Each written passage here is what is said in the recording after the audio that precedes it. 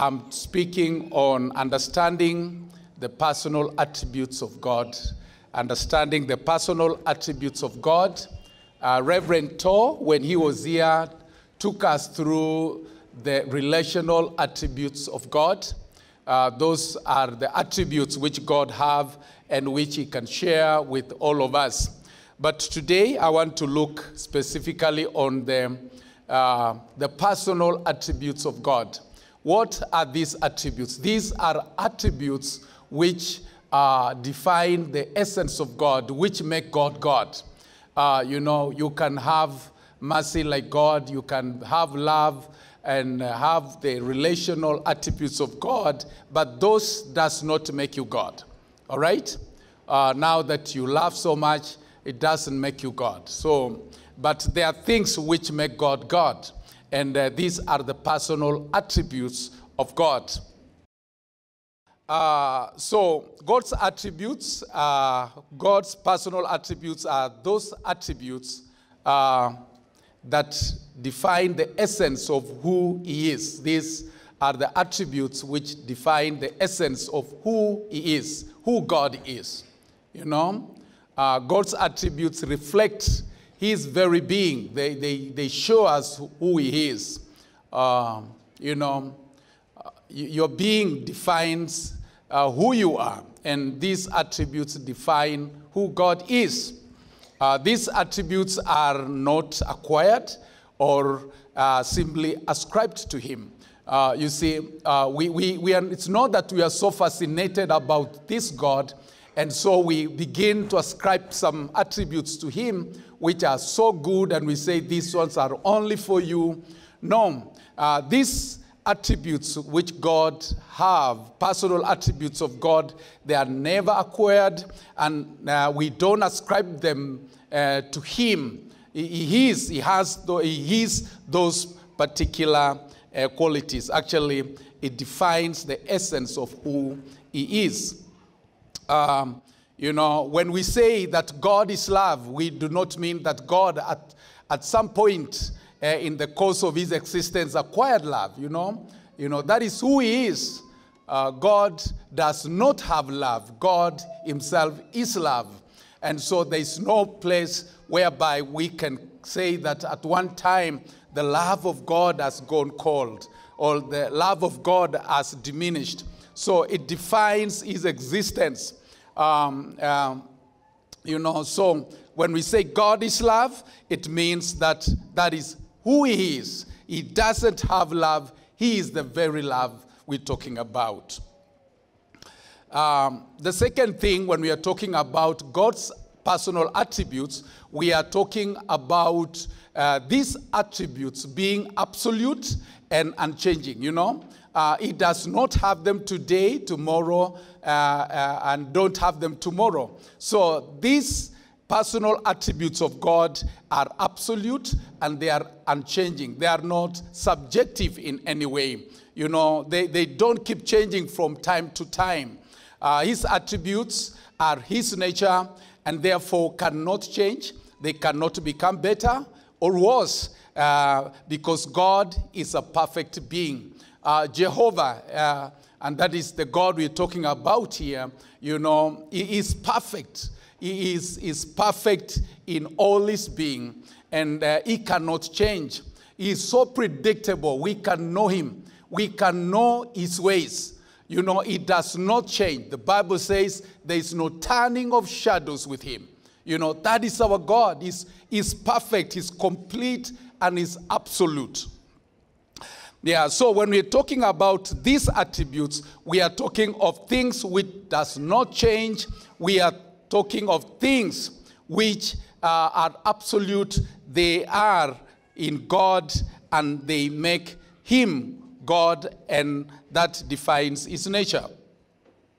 Now, uh, for us to understand this, uh, I just want to pull from the scriptures uh, some, um, some of the things which God Himself said.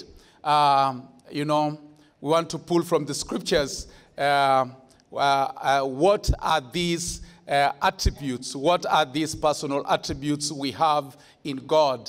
And that way, we're going to read from Isaiah chapter 40, verse 25 to verses 27. That's going to be our scripture reading. Yeah, so um, in that scripture, you know, uh, what we find there, God says, uh, I'm looking for an equal mate. I'm looking for someone who can be my equal, all right? Uh, do you have someone who can be the equal of God? Do you know anyone who can be his equal? Okay, now let's look at this. God has got no equal. God has got no equal at all. Isaiah chapter 40 and verses 25. Now, he begins by saying, To whom will you compare me? Or who is my equal? Says the Holy One, uh, says the Holy One. Uh, to whom will you compare me? Or to who, or who is my equal? Says the Holy One. Now, this is the message of God to the children of Israel at a time when the Israelites were faltering, you know, into worshiping other idols, uh, lifting up other gods, you know, going into other worship, making for themselves idols of stone, of wood. And uh, they would make in Isaiah, the very chapter, you know, uh, God talks about how foolish it is that a man would get a wood, chop the wood, part of the uh, pieces from the wood, it takes them and throws them into the fire and lights and cooks food with it. And then the remaining part, uh, the same person puts it on a pedestal and says, You are my God. And now you begin to worship. Now, God was really mocking the Israelites. He was mocking and telling them, How foolish are you that you can just make a piece of wood and say, This is my God? And so, um, so that way, God was telling the Israelites, You people don't have reason at all. And so it comes through Isaiah and he tells them, Now, to whom will you compare me? You know, some of the things, you know, God was looking at their nonsense and he was wondering, you know, they don't have any reasoning at all. And so God asks them a question To whom will you compare me? And then God answers, asks again, Who is my equal? All right? Who is my comrade? Who is that person who stands and sits on my class? Who is that person who can bring me competition? And so God says, Who is my equal? Can we say amen? I know many of us have some people who are the equal of God. Can you bring that person on? You know, in Western Kenya, we have the bullfighters. Do you have a bull equal my bull?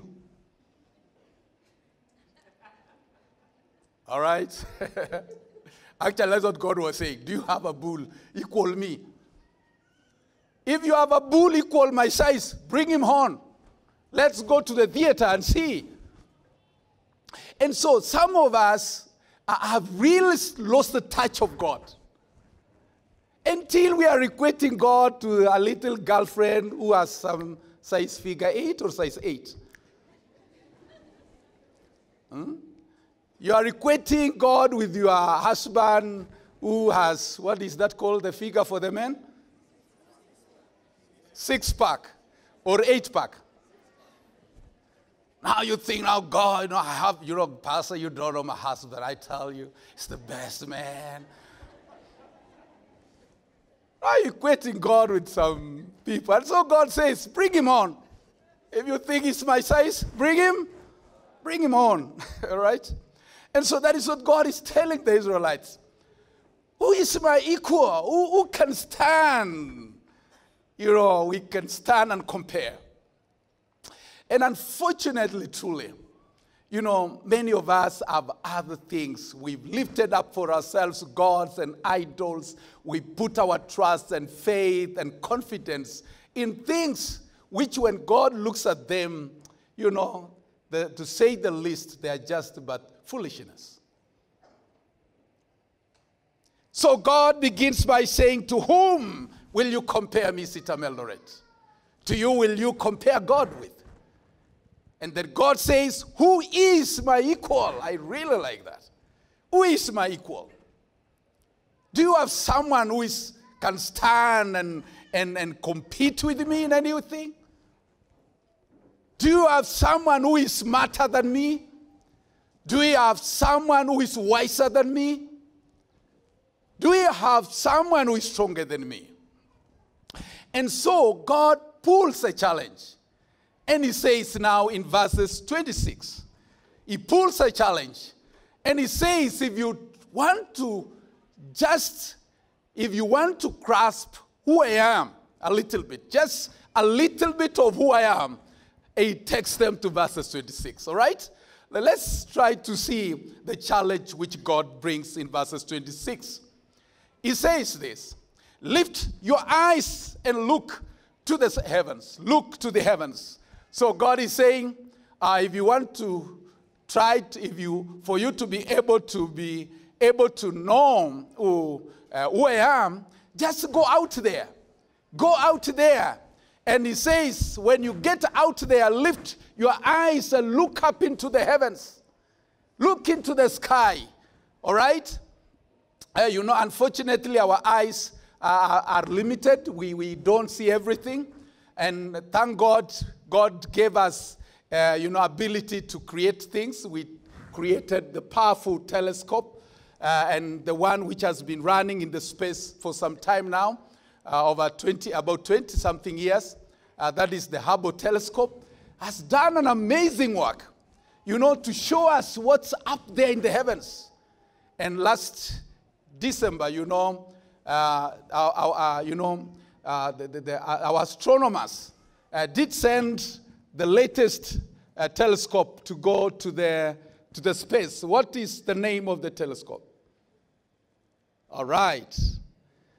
You are farmers, you only know what type of seed to plant.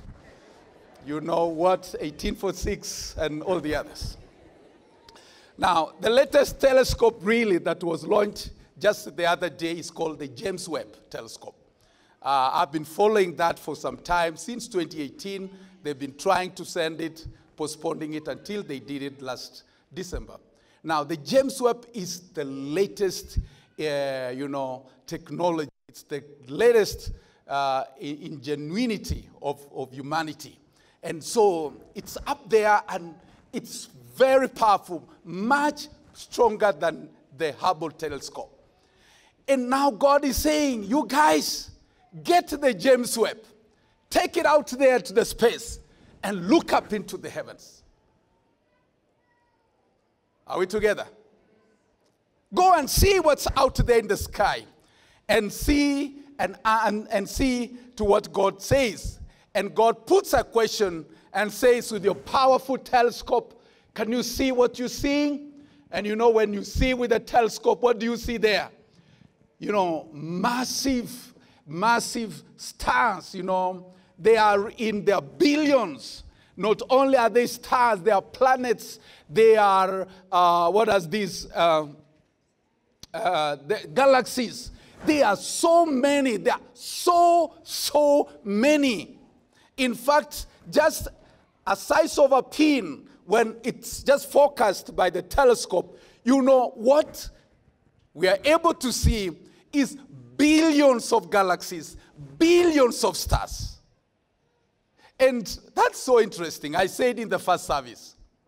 You remember the story of Abraham when he called, God called him and gave him the promise. He told him his children will be as many as and as the sun. Actually, God says that the stars and the sun are many. But let me ask you when you get out there, you see how many stars. Are they as many as the sun? Surely you don't see everything. And God, you know, you know, God knows what we don't know. And He's just telling them, actually, before we had the Hubble telescope, before we had the James Webb, He's telling them, you guys have not seen everything up there. The stars are many, they are as many as the sun. But now, in these few years, our good scientists are boasting and we say, man, we've conquered the world. We now know everything out there. You are just coming too late. God said this many years to Abraham. The sun, as you know, the stars are as many as the sun. Are you listening to me? So God says, Look up into the sky. Who made all this? Amazing. Who made all these things here? And then God continues to say, He who brings out the starry host one by one. He says, Man, it's me. It's me. You don't know the person, but it is. It's me. And he says, I bring them, I bring out the starry hosts one by one. And you see, he has done how many times? Not 10 times, not a million times, billions of times. Are you able to redo that? So he's just saying, bring that compare. Just one person who can look up into the sky, see the massive things I've created, and then who is that person who can bring one by one?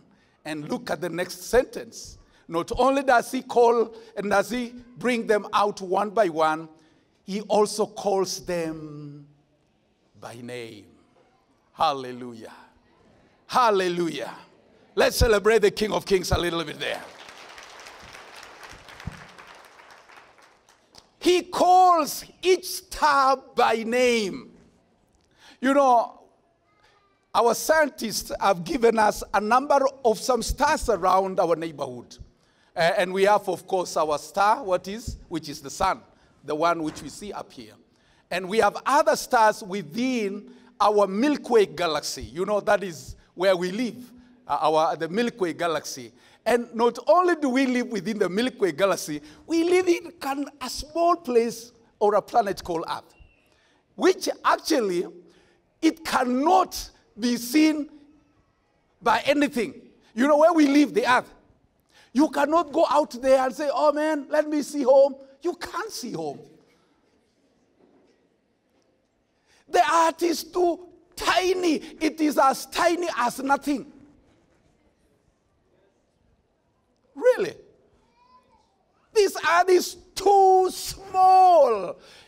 It, in fact, actually, it's as, it is as if it does not exist. If this earth today, actually, and it will, if this earth is destroyed, do you know even the other galaxies will not know something happened? Sure, they will think nothing has happened. Everything is still the same. And so God brings a challenge and He says, hey,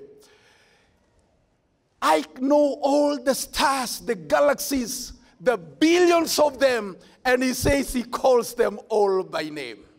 Amazing. You know, we are only 8 billion. Do you think the stars are 8 billion? No. They are billions and billions and billions without end. And so God says, I know each one of them by name. We even don't have the vocabulary to name all of them. But He has the vocabulary. Listen, friends. If God knows the stars by name, do you think He doesn't know? He doesn't know Jane Jerry? Do you think he doesn't know Concepta or whosoever? Your beautiful name? Can you say, He knows my name? He knows my everything. That is Jehovah. And so, let's finish this. He says he calls each by name. And look at what he says, the reason why he's doing this. He's saying, This is not a lazy man's business. This is not a weak person's business. And he says, If you have one of my equal, bring him on. And so let him put his statement there what he has achieved.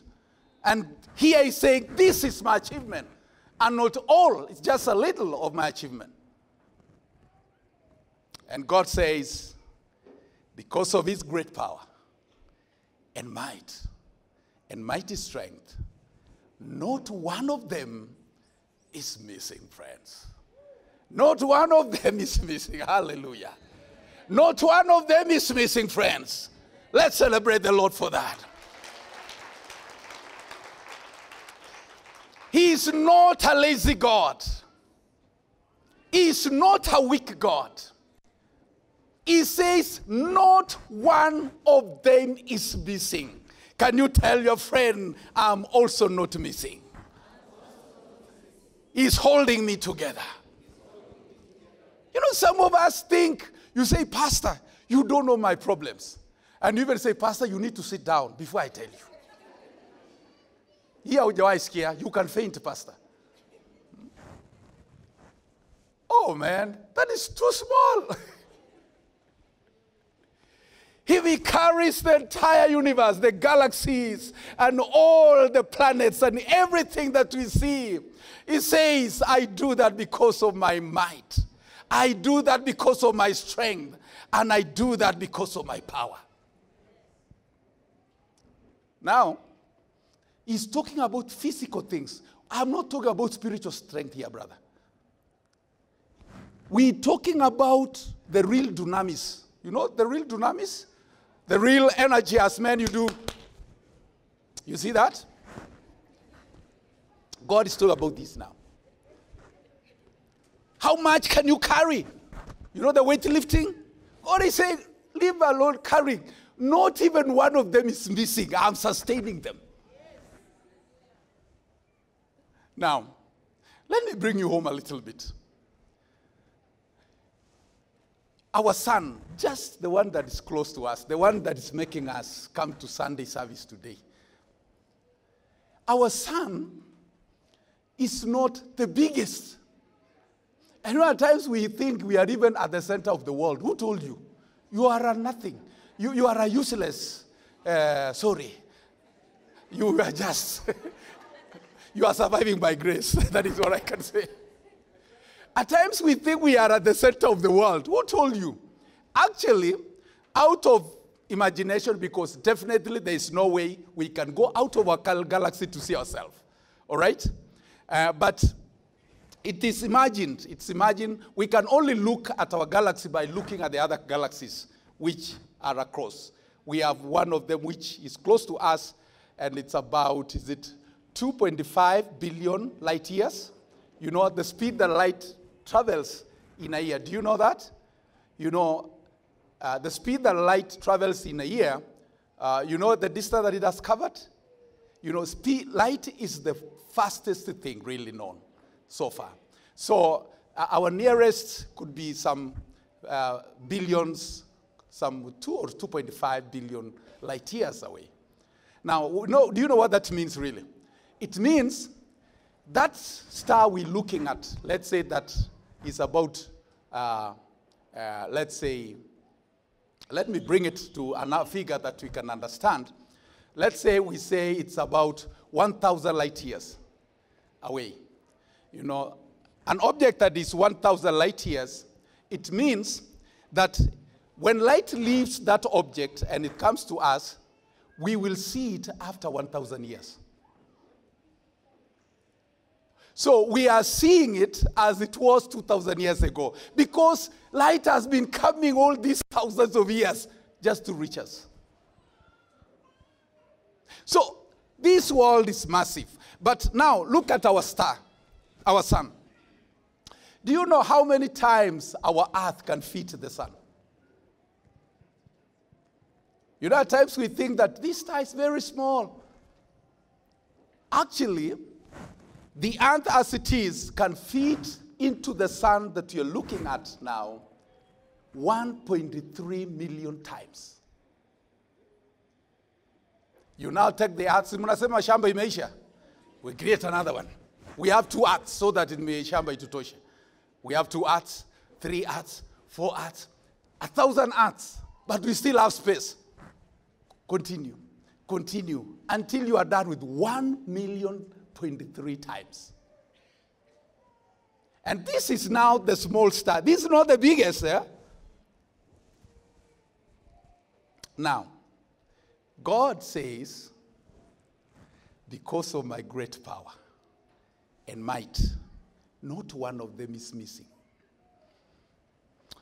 You know, when God was telling the Israelites these and, and Isaiah for that purpose, and Isaiah probably used to sing the song we always sing about the stars. What is the song concerning the stars? Little? Can we go? Three stars?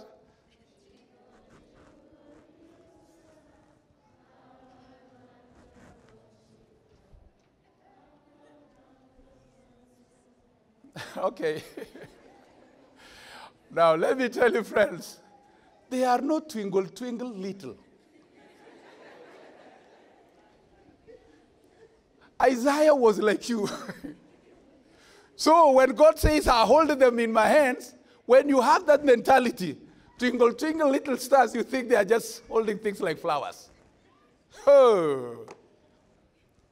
Now, when God speaks, when He wants to reveal a bit of Himself, you know, He will just tell us something which will take us many years for us to know this. You know, this thing, we didn't know that the things we see out there, they are not little, little twinkle stars. It's God Himself who is revealing to Isaiah. And He tells man, you know, if you want to know how strong I am, look at the stars. They are not little, little tingle stars. It's now that we understand that the stars are massive. And then God is saying, It's because of my might and power. Not even one of them is missing. Oh, that is the God we serve. Now, there are two things that come out of this scripture. One, we find that we get an attribute of God. One is that God is all powerful. Can we say amen? amen. Is your God powerful? Yes. Very powerful? Can he carry you in his hand? He can carry the whole universe. He's carrying the whole world. So God is all powerful. The second thing we find here is that God is all knowing. He knows every star by name. And today, let me submit to you, friends, He knows you. He knows you. Pastor Kiprop doesn't know you, but He knows you. Our governor doesn't know you, but He, you cannot escape in His fingers. You know, some of us are saying, I'm so irrelevant, nobody knows me. He knows you. He knows you, friend. Do you know what? He knows what you eat. Do you also know what? He knows where you hide at night. You know the place where you go? When you look to the left or to the right? He knows there. He is all knowing. Now, I want to bring this to a close by looking at verses 27. These attributes of God brings questions at the same time. All right? There are questions that arise from the attributes of God. One, let's read verse 27. You know, God has just finished saying, uh, you know, look here, uh, this is who I am, look at my strength. And then in verses 27, God asks the question now. He poses a question to the children of Israel. And the same question is being posed to us. You know, God is saying, Why do you say? You know, He said, Okay, this is me, so powerful, all knowing. And then He asked the question, Then, why do you say? Why do you say, Oh, Jacob, and complain, O Israel? My way is hidden from the Lord. You know? Why do you think that I don't understand you? Why do you think that I'm not conversant with your ways? Why do you think that I don't understand your feelings? Why do you think that I don't know? So that's what God says. The second thing he asks is this Or why do you think my cause is disregarded by my God? You know, what that comes out is that, like, very strong God, very powerful God, all knowing God, but Israel and Jacob are coming out saying, as much you people sing in church and say, He knows everything, it seems He doesn't know my, He doesn't know my ways. As much as people you sing and say, God is so strong, He can do everything, it seems He's unable to do what I'm to handle what I'm going through. And so Jacob is saying, My cause is disregarded by my God. It's like God has left me. He's unable to carry me through. How many of us feel at times like that? Oh, these are the giants of faith. You only say and it becomes. You only pray once and you don't repeat again, and tomorrow you have. You just say, Be healed, and there you walk healthy. You pray for your husband who was messing up with your family, and then tomorrow he just comes home smiling. You are just sick and you say, I am well, and there you are well. Your children don't give you problems at all. You find Johnny has gone out for Dunda, and you just say, I command you, Johnny. I arrest you, Johnny. And Johnny just stays home. Is that how you people be, live your lives? Now, do you, you say you people have all your answers, your prayers answered. My not all are answered, my friend. I'm struggling. You know, at times I ask myself, where is this God now, really? Yeah? We, I speak at times like the Israelites. Now, please let me not say this too loud. You know how we were married with my wife. Do you know how many years we stayed without a child? Go and Google.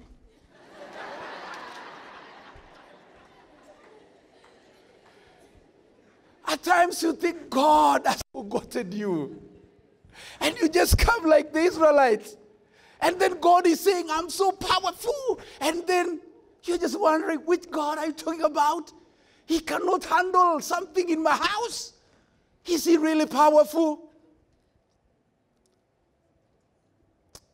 How many of us are now in that category? so, these attributes of God, you know, He says, I'm so powerful, I'm all knowing. Then you wonder, really. I remember, for real, there is a day in my life, and I was in this city, and I'd been invited to preach in a church here in this town. And when I came to that service, it was a revival meeting. I was the greatest man of God on the poster. And so when I preached, preached, preached, and Sunday came, and uh, I remember some people were giving testimonies. And they say, Praise the Lord, God is good, brethren. God is good. Do you know what was really going on, real in my heart? I was saying, These people are deceiving us. God is not good. And I'm also a preacher. Eh? Nimekuja kuhubiri. But in my heart, due to the things I was going through, I was just saying, hey man, let's just be real. I doubt if he's good. How can a good God allow me go through such things? How can a good God, how can a good God really I've done nothing wrong? I am his servant. How can a good God allow me go through such? But he was still good anyway. I remember I said that day, if you are really good, let me know. Can you prove yourself? Let me not tell you whether he proved or he did not. These attributes of God are broad questions. All right? Why would a powerful God not stop a catastrophe? All right? We were doing this lesson really in our excans, and one of the question was, why would God not, if he's so powerful, why would he not stop some things?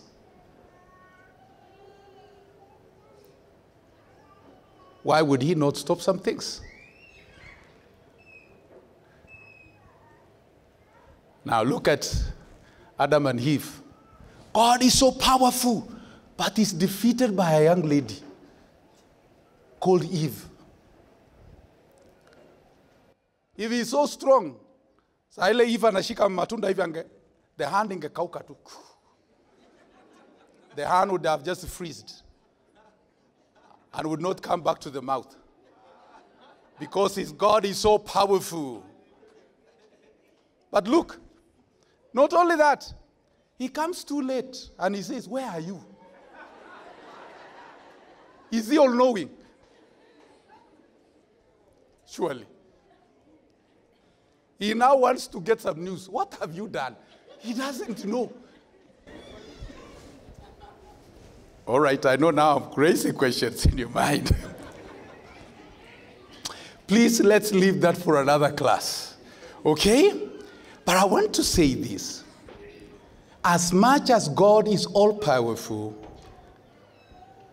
there are things which God cannot do.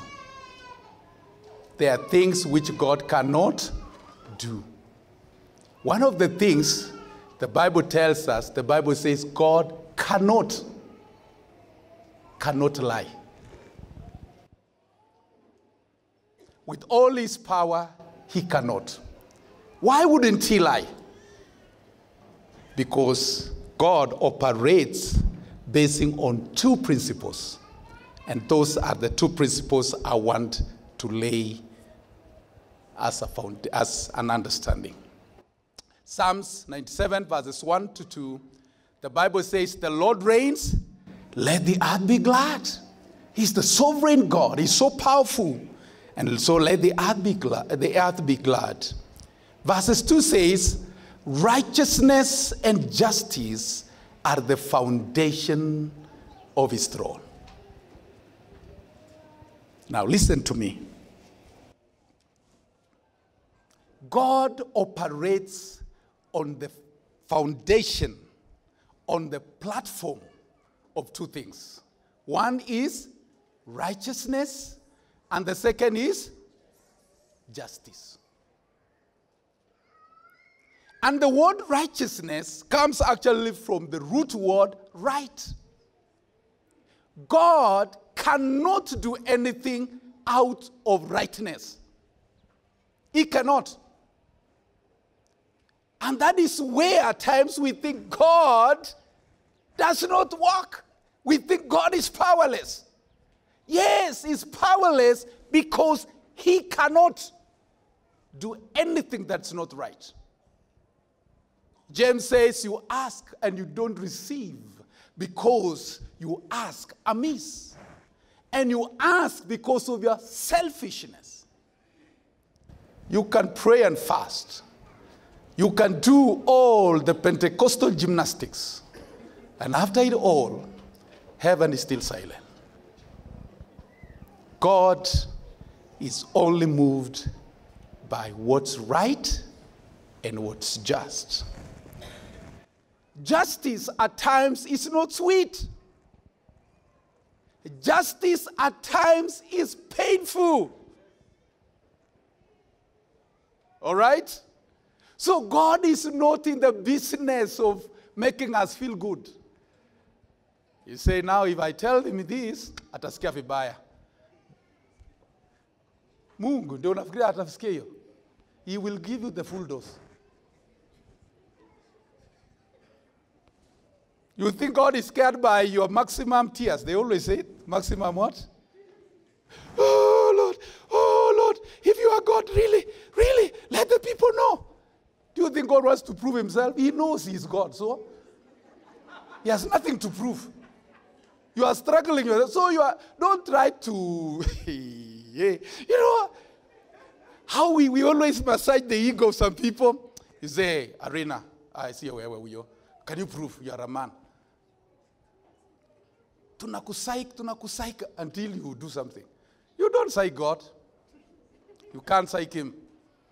Can we say amen? Two things moves God. What's right and what is just. Regardless of your pain, he will act on those two words. Here, the Israelites are complaining to God because God has sent them into slavery. They are suffering.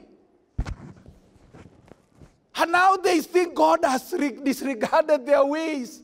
It's as if God has forgotten them. No, He's giving you, He's having you justice. Are you listening to me? You know, some of us, even if we come to pray to you, we can't change anything because you are being served. You are. Justice is being served. So we'll just tell you finish your term. Because justice is being served. Quickly, uh, let me let's look at these two things justice and justice and Please, if you forget everything, don't forget these two things the omnipotence of God, the all powerful God works on these two rails. All right? So look at Abraham. Genesis chapter 18 and verses 19. Let's read there. now, I have chosen him, that is Abraham, so that he may direct his children and his household after him to keep the way of the Lord. Now, God is saying, I called Abraham, I chose Abraham, and he says for this reason that he may direct his household, that they may keep the way of the way of who? The way of the Lord. Now, what is the way of the Lord according to this? Now, by doing what is right and what is. Are you seeing the way of the Lord now? God walks on these two rails. He says, I raised Abraham so that he may train and teach his children the way of the Lord. And what is the way of the Lord? By doing what is right and what is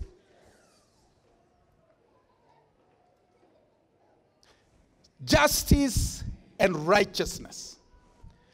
Let's look at Jesus, the emphasis of Jesus, Matthew 23 and verse 23.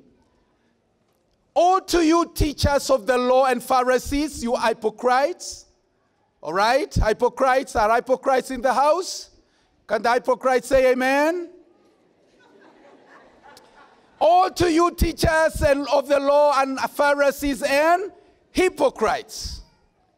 You give a tenth of your spices, mint, dill, and cumin. But listen to this. But you have neglected the more important matters of the law. All right? You have neglected the meat. What is the meat there? And, and, that is what matters here. It is justice, mercy, and faithfulness. Now let's come to the implication as I bring this to a close. Implication one As much as God is all powerful and all knowing, he cannot act outside of rightness and justice. He cannot act outside of those. Have you not heard that God is no respecter of persons? Truly is, is. Not a respecter of persons. He doesn't respect persons, but he respects what's right and what's just. When God comes to make judgment, he does not look at the face, he looks at what's right and what's just. And so let's read Genesis 20, chapter 18, verse 25. This is one of my best scripture. I read it again this morning and it excited me. Wow. Now let's read this. This is Abraham talking to God concerning his brother who? Lot, who was in the city of uh, Sodom and Gomorrah. Now, far be it from you to do such a thing. Now, God is telling God, no, Abraham is telling God, it's you told me, you raised me to teach people to do what's right and what is. And now he's saying, hey, God, hey, Apple, let me stop you now. Let me give you some piece of advice, God. Far be it to you that you do such a thing. To kill the righteous with the wicked. Treating the righteous and the wicked alike. You know what Abraham is telling God here? That's not justice. Treating the righteous and the wicked alike? Mm-mm, it can't be. And then he continues to tell God again, far be it. Eh? Waisikia mtu nisiwahi sikia. God, nisiwahi, nisiwahi, far be it from you. And then he says what I like most. Will not the judge of all the universe, will not the judge of all the earth do right? Now he's telling God, really God, this, this, hata mtu asiwaisikia, that you are defeated to separate the wicked and the righteous. That's how That sasa unagonga everybody now randomly. He's telling him, you don't know your position. You are the judge of all the earth. And he tells him, Will the judge of all the earth now fail in this? That he doesn't know to do what's right? So that way, let me tell you, as much as God is all powerful, he will always do the right thing. He cannot use his power to do anything that's not right. And he cannot be an accomplice in wickedness. You have your own wickedness, umejawa na unforgiveness, and every early in the morning you say, I release fire to my enemies. Burn them, Lord, burn them, Lord. And you think you are, you want God to be an accomplice in such. In your bitterness. And you say, You've not seen anything yet, man. That man is still coming down. They will know that I'm a man of God. Nonsense. God, can, God cannot be an accomplice in wickedness. You are so full of wickedness and revenge and rage.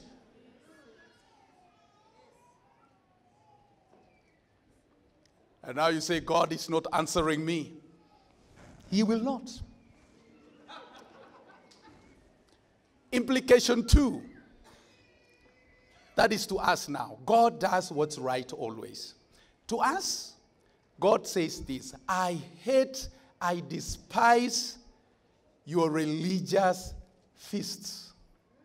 Okay, are you seeing that now when it comes to us? I cannot stand your assemblies.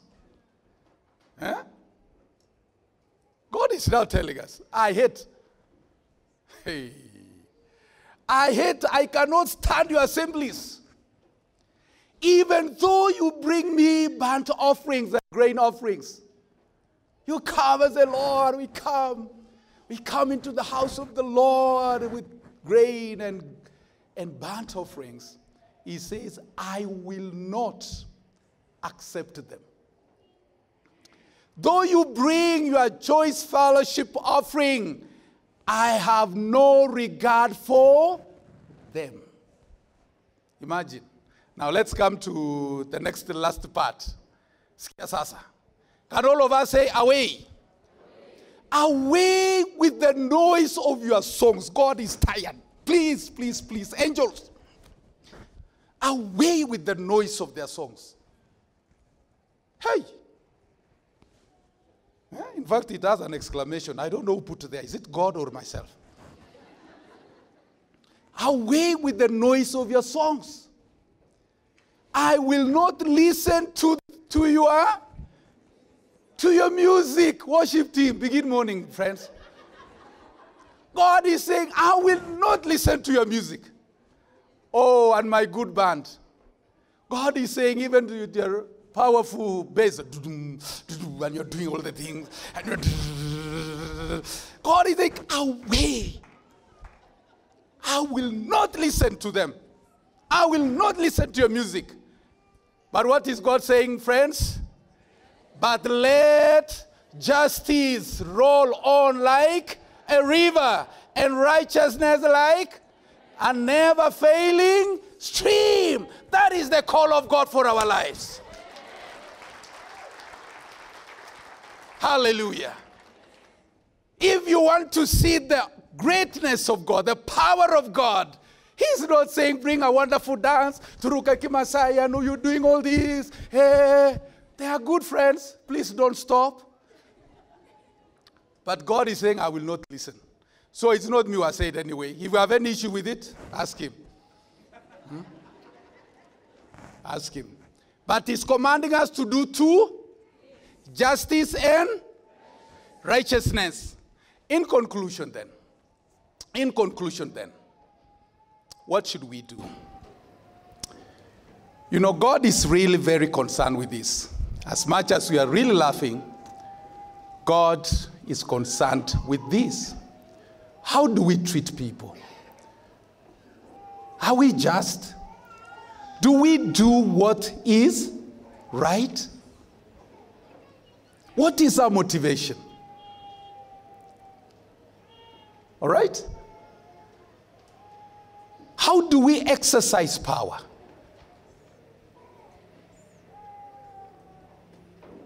Do we do what is right every time?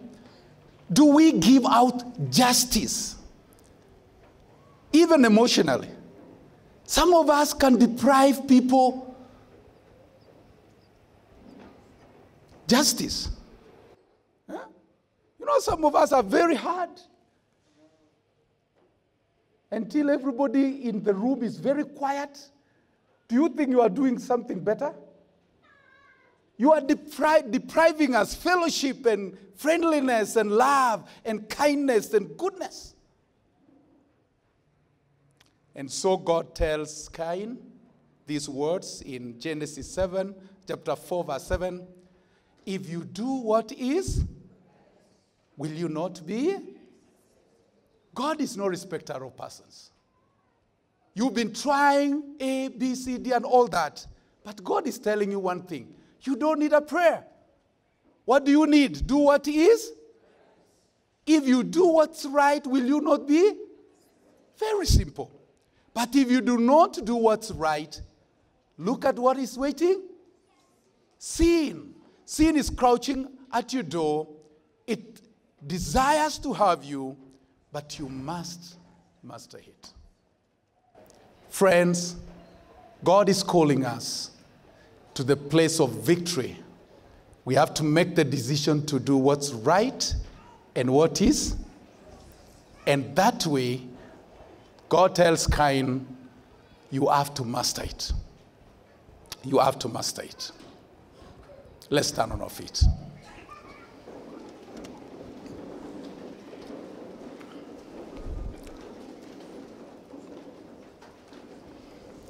You know, God is calling us not to a religious duty, but He's calling us to the place of sobriety. You know, to look on issues which Jesus said they are the weighty matters, the real matters of life. And those are justice. And that is doing what's right. It's not about favoring people, it's about doing what's right always. God does what's right always. And what he does as justice at times may not be pleasant. Yes, but God cannot bend his rule, he cannot bend his way. But he tells Cain, if you do what's right, will you not be accepted? Let's bow down for a word of prayer. You are here and you're saying, Pastor, there are things in my life I need to make right. There are things in my life where I need to serve justice. Or there are some things you are going through in this life because God, who is just, cannot do anything because you are reaping what you sowed. But in the mercy of God, we want to pray that He may help us. What are we asking God? That He may grant us the grace to do what's right. There are things you want, you may need to go and ask for forgiveness. There are people you may need to forgive.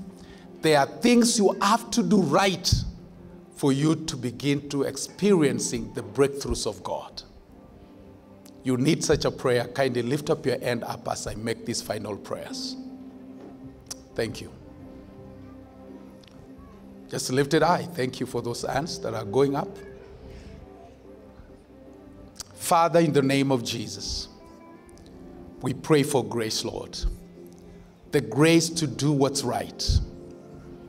The grace to turn around the tide of darkness by doing what's right. The grace to do what's just so that we may turn away the heavy darkness on our lives. In our relationships, Lord in the name of Jesus, we pray for the grace and the baton to do the right things, to say the right things, to think the right way, to do everything according to will. So, Father, you know the hands that have been lifted concerning the issues they know. Father, we pray for your grace. Give them the power today to go out and do the right things. And by so doing, Lord, they will come back with joy and, and testimonies of your great interventions. Because you are the sovereign God and the most powerful God. Father, we thank you. Father, we bless your name. In Jesus' name we pray. Amen. The Lord bless you.